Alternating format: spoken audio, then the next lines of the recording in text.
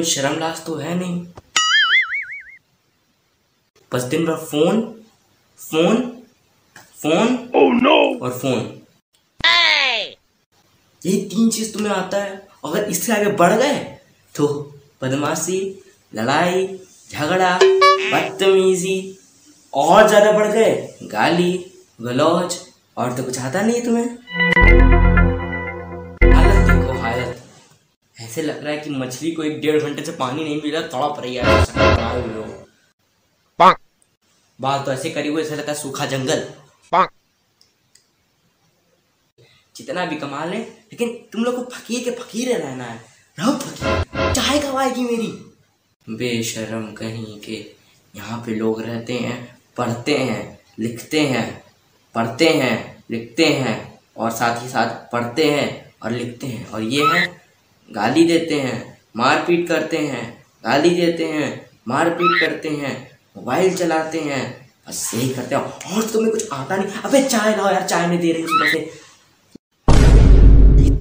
नहीं नहीं तो हम तुमसे कुछ पूछ रहे हैं। और तो कुछ आता नहीं होगा तुम्हें।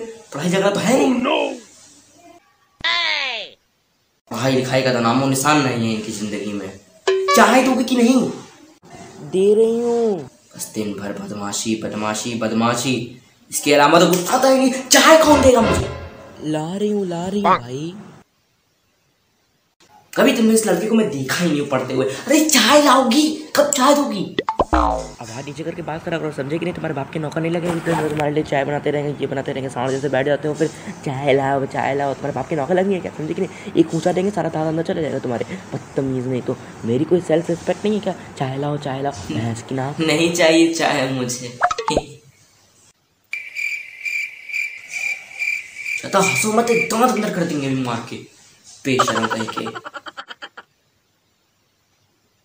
जवाहरलाल नेहरू जी अब तुम्हारी उम्र के हुआ करते थे ना तो वो क्लास में फ़र्स्ट आते थे फ़र्स्ट और तुम तुम तो नीचे से फ़र्स्ट नहीं आते, क्योंकि तुम हर साल फेल हो जाते हो। पता है हम्म जवाहरलाल नेहरू जी, जब आपकी उम्र के थे तो वो देश के प्रधानमंत्री थे।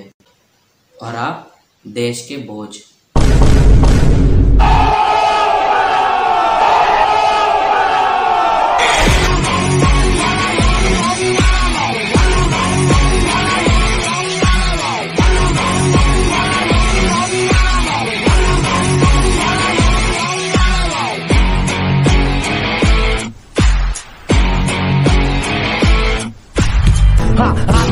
नाक बंद खोटा खोटा बात बंद।